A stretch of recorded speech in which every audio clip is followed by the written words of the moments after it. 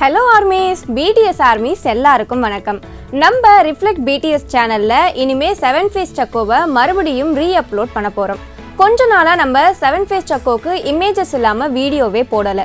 ஆகஸ்ட்லேருந்து மறுபடியும் இமேஜஸ் வரப்போகுது அப்படின்னு சொல்கிறதால நம்ம இனிமேல் ரெகுலராக செவன் ஃபேஸ் சக்கோவை போட போகிறோம் இந்த வீடியோவை நிறைய பேர் பார்த்துருப்பீங்க சில பேர் பார்க்காம இருந்திருப்பீங்க. இப்போ எதனால மறுபடியும் ரீ அப்லோட் பண்ணுறோம்னா மறுபடியும் நம்ம ஆகஸ்ட்லேருந்து வீடியோ போடும்போது உங்களுக்கு ஒரு கண்டினியூவேஷன் வேணும் அப்படின்றதால தான் இந்த வீடியோவை மறுபடியும் நம்ம ரீ அப்லோட் பண்ண போகிறோம் every Wednesday and Saturday seven fates Chakho வரப்போகுது. நாளைக்கு சாட்டர்டேன்றதால நாளிலேருந்தே வீடியோ வரப்போகுது. நீங்கள் இந்த வீடியோவை தெளிவாக பார்த்துக்கோங்க ஏன்னா சாட்டர்டே வெனஸ்டே அதுக்கப்புறம் வர சாட்டர்டே இந்த மூணு வீடியோவையும் சேர்த்து சாட்டர்டே அன்னைக்கு ஈவினிங் நாங்கள் சில கேள்விகளை இந்த வீடியோ சம்மந்தமாக கேட்போம் அந்த கேள்விகளுக்கு நீங்கள் சரியாக பதில் சொல்லணும். அந்த பதில் நீங்கள் சொல்கிறதுக்கு ஒரு குறிப்பிட்ட டைம் லிமிட்டையும் உங்களுக்கு கொடுக்க போகிறோம் ஸோ நீங்கள் கரெக்டாக பதில் சொல்லிட்டீங்கன்னா அந்த ஆர்மிஸுக்கு நிறைய சர்ப்ரைஸான விஷயங்கள் காத்திருக்கு. ஸோ அதனால் மறக்காமல் செவன் ஃபேஸ் சக்கோவை பாருங்க. அதுலேருந்து கேட்கக்கூடிய கேள்விகளுக்கு சரியான பதில் சொல்லுங்கள் உங்களுக்கான சர்ப்ரைஸ் என்ன அப்படின்றத நான் சீக்கிரமாகவே சொல்கிறேன்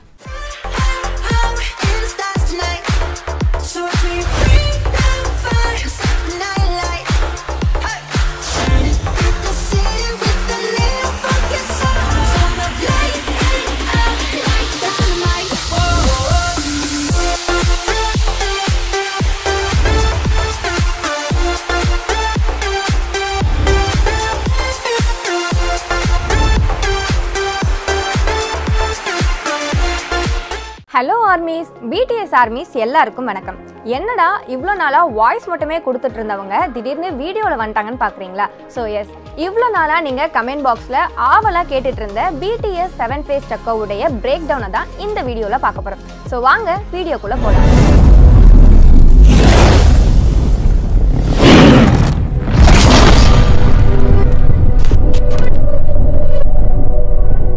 பிடிஎஸ் செவன் ஃபேஸ் சக்கோ. முதல்ல சக்கோனா என்ன? அந்த காலத்துல கொரியால வாழ்ந்த மக்கள் எல்லாமே புலிகளாகிய அரக்கர்கள் கிட்ட மாட்டிக்கிட்டு ரொம்பவே கஷ்டப்படுறாங்க.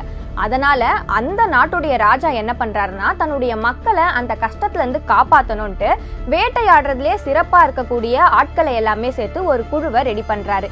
அந்த குழுக்கு பேர் தான் சக்கோ. ஸோ அந்த சக்கோன்ற கேரக்டர்ல தான் நம்ம பிடிஎஸ் மெம்பர்ஸ் ஏழு பேருமே இருக்காங்க. பிடிஎஸ் செவன் ஃபேஸ் சக்கோவை ரெடி பண்ணுறது ஹைப் நிறுவனம். இது வரைக்கும் பதிமூன்று பகுதிகள் ரிலீஸ் ஆயிருக்கு. அது எல்லாத்தையுமே நம்ம சேனல்ல பார்க்கலாம்.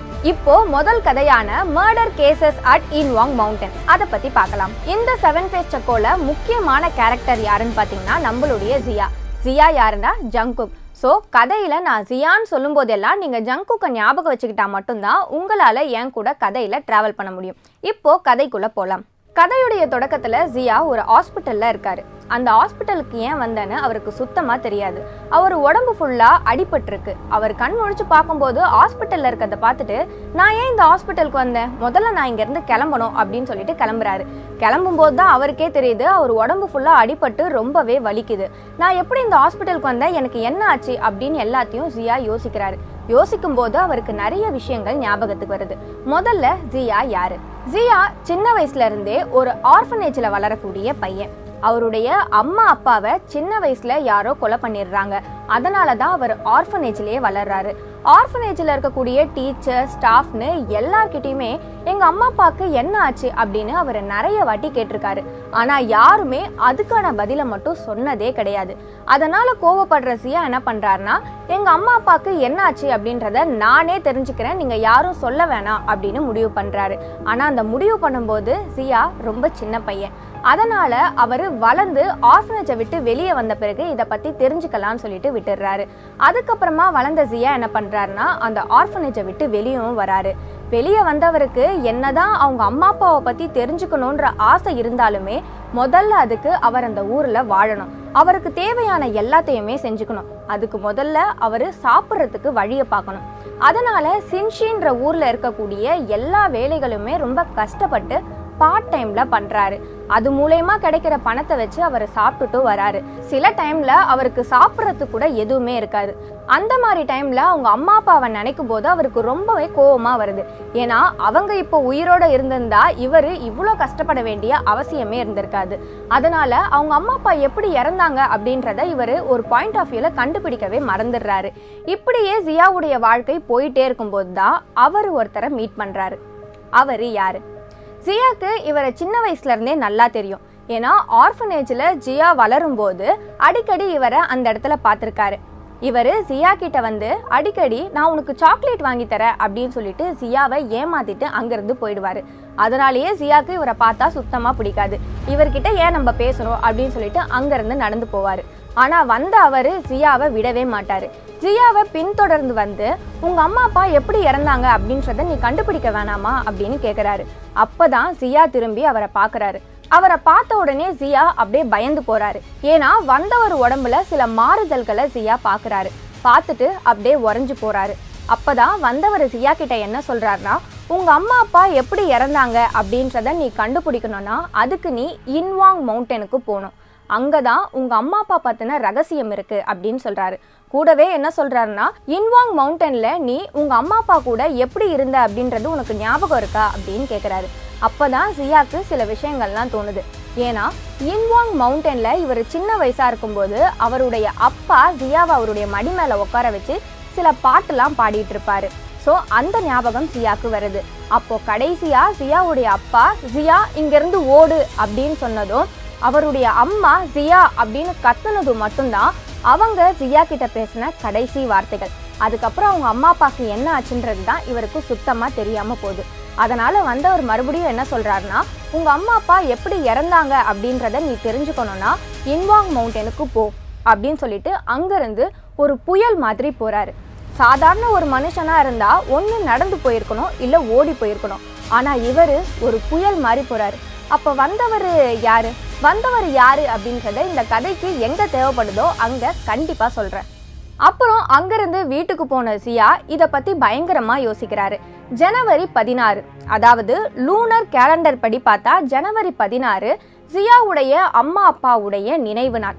அந்த நாள் வரத்துக்கோ யாரோ ஒருத்தர் வந்து அவருடைய அம்மா அப்பாவை பத்தி சொல்றதுக்கோ எப்படி கரெக்டா மேட்ச் ஆகுது அப்படின்னு யோசிச்ச சியா சரி நம்ம அந்த இன்வாங் மவுண்டனுக்கே போய் அவருடைய அம்மா அப்பா பத்தின ரகசியத்தை தெரிஞ்சுக்கலாம் அப்படின்னு முடிவு பண்றாரு. கரெக்டா ஜனவரி பதினாறாம் தேதி அவரு அந்த இன்வாங் மவுண்டனுக்கும் போறாரு. அங்க என்ன நடந்தது அப்படின்னு யோசிச்சு பார்க்கும்போது தான் தெரியுது சியா இப்ப ஹாஸ்பிட்டல்ல இருக்காருன்னு. அங்க என்ன நடந்ததுன்றது மட்டும் சியாக்கு சுத்தமா ஞாபகத்துக்கே வரல. இப்படி அவர் அங்க என்னதான் நடந்ததுன்னு யோசிச்சுட்டே இருக்கும் போதுதான் கரெக்டா அந்த ரூமை திறந்து அந்த ஹாஸ்பிட்டல்ல வேலை செய்யற நர்ஸ் உள்ள வராங்க. உள்ள வரவங்க சியா கிட்ட என்ன சொல்றாங்கன்னா உங்களை இப்படி பார்க்கறதுக்கே எனக்கு ரொம்ப சந்தோஷமா இருக்கு. ஏன்னா நீங்க மூணு நாளைக்கு முன்னாடி இந்த ஹாஸ்பிட்டலுக்கு வந்தீங்க. வரும்போது நீங்க உயிர் பொழைப்பீங்களா? இல்ல இறந்து போயிடுவீங்களானே எங்களுக்கு தெரியல. ஏன்னா உங்க உடம்பு முழுக்கமே அவ்வளவு கீறல்களும் உடம்பு முழுக்கமே ரத்தமா இருந்துச்சு. ஆனா இப்ப நீங்க சரியாகி இப்படி இருக்கிறத பார்க்கும்போது எனக்கு ரொம்பவே சந்தோஷமா இருக்கு அப்படின்னு சொல்லிட்டு அந்த நர்ஸ் அங்கிருந்து போறாங்க. அப்பதான் சியா மறுபடியும் யோசிக்கிறாரு. என்னது? நான் இங்க வந்து மூணு நாள் ஆச்சா? அப்ப அந்த மலையில என்னதான் நடந்துச்சு? அப்படின்னு யோசிக்கிறாரு. அவர் அப்படி யோசிச்சுட்டே இருக்கும்போது இன்னொருத்தரும் அந்த ரூம்குள்ளே வராங்க. வந்தவர் யாருன்னு பார்த்தீங்கன்னா அந்த ஷின்ஷி ஊரில் இருக்கக்கூடிய போலீஸ் டிடெக்டிவ்.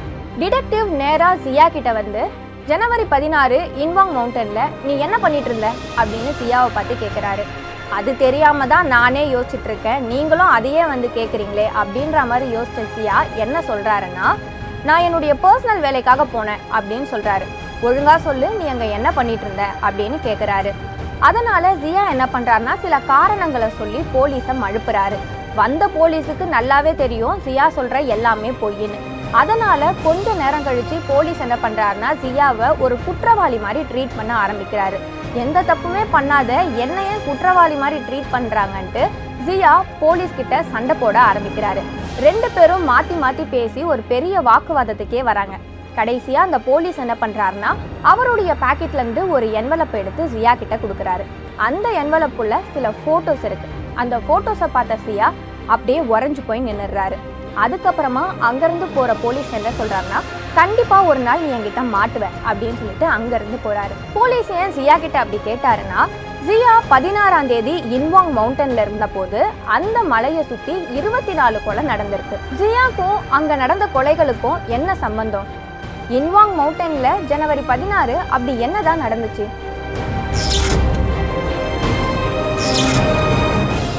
ரியா கிட்ட வந்து பேசிட்டு போன அந்த ஆள் யாரு? போலீஸ் கொடுத்த என்வலப்ல அப்படி என்ன போட்டோஸ் தான் இருந்துச்சு? இந்த கேள்விகளுக்கான எல்லா விடையும் நான் அடுத்த வீடியோல சொல்றேன். அடுத்த வீடியோவையும் நீங்கள் பார்க்கணுன்னா நம்ம சேனலை மறக்காம சப்ஸ்கிரைப் பண்ணி ஃபாலோ பண்ணுங்கள் அது வரைக்கும் உங்களிடமிருந்து விடைபெறுவது நான் உங்கள் பிடிஎஸ் ஆர்மி கேர்ள்